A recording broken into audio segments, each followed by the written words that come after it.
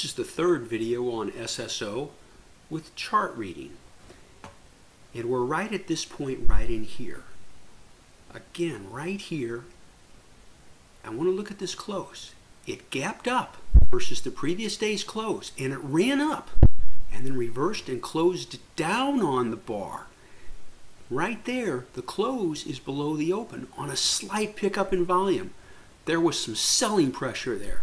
And the next day, the sellers came to roost. It gapped down and it dropped on heavy volume and closed below the 50 day.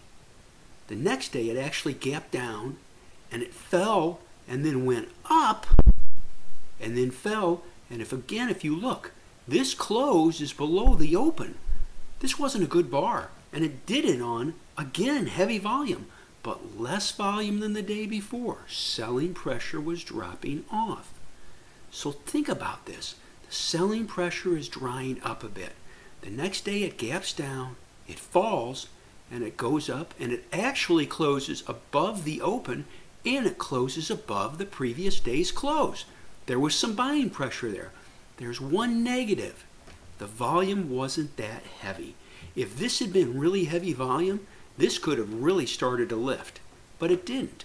It did cause enough for us to gap up, and close near the highs for the day. Volume was heavier than the day before, but we must always put things in context to previous bars. You could say this is a great bar. It gaps up and closes near its highs. Volume picks up. But look at this bar's volume versus these two bars' volume. Much less. There was buying there, but it wasn't heavy buying pressure.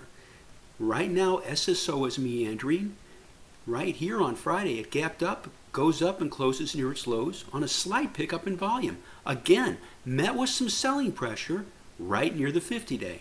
This pattern is choppy, and until it resolves, we have to be careful. We like clean and simple. We don't like loose.